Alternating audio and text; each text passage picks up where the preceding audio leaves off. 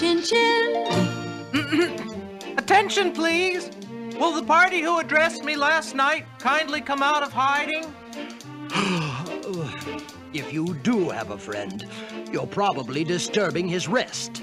Oh, I beg everyone's pardon. I didn't mean to be objectionable. Chin up, chin up. Put a little laughter in your eyes. Brave it, save it. Even though you're feeling otherwise, rise up. Millie, you have to help me. I don't want to be Christmas dinner. I need a word, a great word. Can you weave a word in your web like your mom did? Piece of cake. Anything for a friend. Now, what should I write? Ah, okay, okay, it's got to be just right. How about good pig? No, that's too ordinary. How about fun pig? How about best buddy?